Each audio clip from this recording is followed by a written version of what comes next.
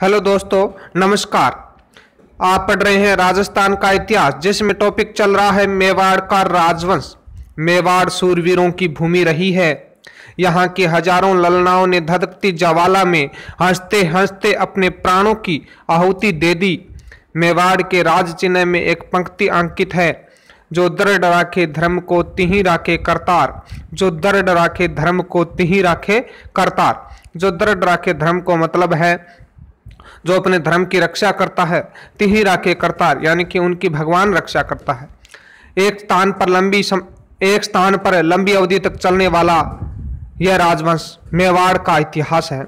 यानी कि लंबी अवधि तक चलने वाला राजवंश है वो मेवाड़ राजवंश है। और इनकी कुलदेवी बाण माता है। ये एकलिंग नाथ जी के दीवान है। यानी कि अपने आप को ये एकलिंग नाथ जी का दीवान मानते हैं। जानकारी के स्रोत अबुल फजल। अब देखिए यहाँ पर है, मेवाड़ में दो वंश हुए हैं, एक तो गुहिल वंश और एक सिसोदिया वंश। पहले यहाँ पर सिसोदिया वंश हुआ है और दूसरा गुहिल वंश हुआ है। अबुल फजल इसके बारे में क्या कहता है? देखिए, अबुल फजल कहता है कि ईरान में एक नौशेखा आदिल है और इस नौशेखा आदिल का वंशज है गुहिल। गुहिल ने गुहिल वंश की स्थापना की थी। तो यहाँ पर अबुल फजल कहता है कि ईरान का नौशेखा आदिल है, उसका नौशेखा आदिल है, उसमें गुहिल हुआ था, ये गुहिल का वंशज है। कर्नल जेम्स टोड के अनुसार मेवाड़ राजवंश के जो लोग हैं, वो विदेशी हैं। किसके अनुसार? कर्नल जेम्स के, कर्नल जेम्स टोड के अनुसार। राजस्थान की बात हो, कर्नल जेम्स टोड का नाम नहीं आए, ऐसा हो नहीं सकता। एक जैन ग्रंथ है, जो शत्रुंजय महात्म्य द्वारा लिखा गया है। इसके अनुसार गुजरात में एक वल्लभी स्थान है, जिसकी राजधानी है आनंदपुर, और इस वल्लभी स्थान का राजा है शिलादित्य। और शिलादित्य की रानी का नाम है पुष्पावती। पुष्पावती का और शिलादित्य का पुत्र है गुहिल। जिन्होंने पाँच ईस्वी में मेवाड़ की स्थापना की थी।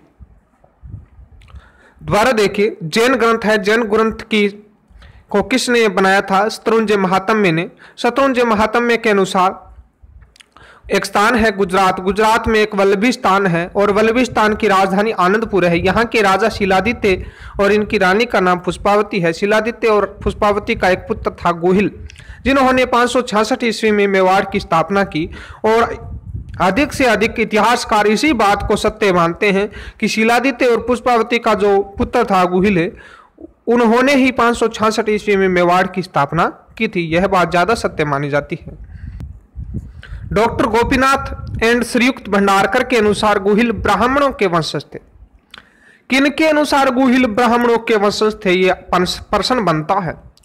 तो हमारा आंसर होना चाहिए डॉक्टर गोपीनाथ एंड श्रीयुक्त भंडारकर के अनुसार ब्राह्मण, यानी कि गुहिल है वो किसके वंशज थे? ब्राह्मण के वंशज थे। और डॉक्टर गौरी शंकर ओझा एवं महुनोत नेंसी के अनुसार गुहिल सूर्यवंशी थे। तो प्रश्न बन सकता है कि मेवाड़ का जो गुहिल वंश था, वो किन के अनुसार सूर्यवंशी था? सूर्यवंशी की बात का समर्थन कौन करता है? तो आंसर होना चाहिए डॉक्टर गौरी शंकर ओझा एवं महुनोत नेणसी। महुनोत नेणसी के अनुसार मेवाड़ राजवंश की चौबीस शाखा है, जिसमें दो शाखा प्रमुख है, एक शाखा कुहिल वंश की और दूसरी शाखा सिसोदिया वंश।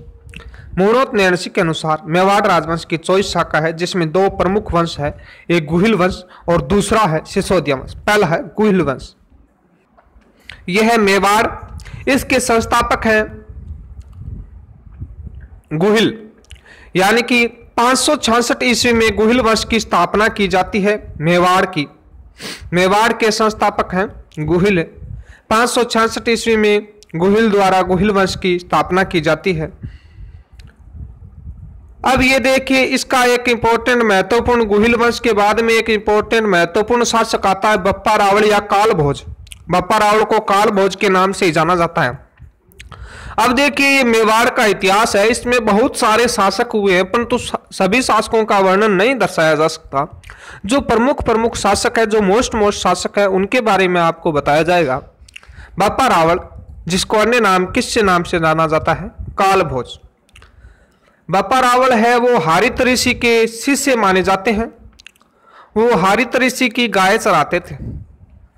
बप्पा रावल हारित ऋषि के शिष्य हैं। वो हारित ऋषि की गाय चराते थे और हारित ऋषि के आशीर्वाद से ही बप्पा रावल कालभोज ने चित्तौड़ के शासक मान मौर्य से चित्तौड़ का दुर्ग जीता था। देखिए, दोबारा देखिए यहाँ पर। हारित ऋषि के आशीर्वाद से बप्पा रावल ने चित्तौड़ के शासक मान मौर्य पर सात सौ ईस्वी में आक्रमण किया था। जिसमें चित्तौड़ के शासक मान मौर्य की हार हो जाती है और बप्पा रावण की विजय हो जाती है, जीत हो जाती है। बप्पा रावण काल भोज के जो काल था, उसमें सोने के सिक्कों का प्रचलन था। तो यहाँ पर यह बहुत अच्छा प्रश्न बनता है कि सोने के सिक्कों का प्रचलन किस राजा के काल में था? मेवाड़ इतिहास में सोने के सिक्कों का प्रचलन किस राजा, किस शासक के काल में रहा। तो हमारा आंसर होना चाहिए, बप्पा रावण या काल भोज मेवाड़ का वास्तविक संस्थापक भी बप्पा रावण या काल भोज को कहा जाता है। वैसे तो मेवाड़ की स्थापना किसने की थी? गुहिल ने की थी। गुहिल को संस्थापक माना जाता है। परंतु मेवाड़ का वास्तविक संस्थापक का जो दर्जा है, वो बप्पा रावण या काल भोज को ही दिया जाता है। बप्पा रावण ने नागदा को अपनी राजधानी बनाया और इसी नागदा पर एकलिंग नाथ जी का मंदिर भी बनवाया। तो मोस्ट प्रश्न हमारा क्या था? मेवाड़ में सो, सोने के सिक्कों का प्रचलन किस राजा के समय हुआ? बप्पा रावण या कालभोज? मेवाड़ के प्रमुख शासकों में एक शासक और हैं अलहट जिसका नाम, अन्य नाम है आलू रावण, अलहट या आलू रावण। इन्होंने आहड़ आहड़ कहाँ पर है? उदयपुर में। इन्होंने आहड़ को अपनी राजधानी बनाई। इनके समय इनके समय नौकरशाही सिखों का प्रचलन था। हूण की राजकुमारी हरिया देवी से इनका विवाह हुआ था। दोबारा देखिए, मेवाड़ के प्रमुख शासकों में एक शासक और आता है, अलहट या आलू रावल इन्होंने आहड़ को अपनी राजधानी बनाया। इनके समय नौकरशाही सिखों का प्रचलन था हूण की राजकुमारी हरिया देवी से इनका विवाह हुआ था। अभी अभी जो राजस्थान की भर्ती हुई थी, उनमें कुछ पेपर हुए थे, उनमें एक प्रश्न आया था कि नौकरशाही सिखों का प्रचलन मेवाड़ के किस शासक के समय हुआ था? तो आपका वहाँ पर आंसर होना चाहिए था, अल्हट या आलू रावल। क्या प्रश्न आया था? नौकरशाही सिखों का प्रचलन किस शासक के समय हुआ था अलट या आलू रावल? आज के हमारे मोस्ट पर्सन क्या बनते हैं? कि गोहिल वंश की स्थापना किसने व कब की? गोहिल वंश की स्थापना गोहिल ने पाँच ईस्वी में की। महुनोत नैणसी के अनुसार मेवाड़ राजवंश की कितनी शाखा है? तो हमारा आंसर होना चाहिए चौबीस शाखा। और दो प्रमुख कौन कौन सी है? तो घुल वंश और सिसोदिया वंश। यहाँ पर एक बहुत ही मोस्ट पर्सन अच्छा मोस्ट पर्सन बनता है, वो क्या है? कि किस ऋषि के आशीर्वाद से बप्पा राव ने चित्तौड़ के शासक मान मौर्य को पराजित किया था? बहुत ही अच्छा प्रश्न है। कि किस ऋषि के आशीर्वाद से बप्पा रावल ने चित्तौड़ के शासक मान मौर्य को पराजित किया था? तो हमारा आंसर होना चाहिए हारित ऋषि के आशीर्वाद से। और एक प्रश्न ये भी है, सोने के सिक्कों का प्रचलन वाला, वो आपको बताई दिया। और आज का जो लास्ट मोस्ट पर्सन था मोस्ट पर्सन मोस्ट पर्सन था, कि नौकरशाही सिक्कों का प्रचलन किस राजा के समय हुआ? अलट या आलू रावल के समय।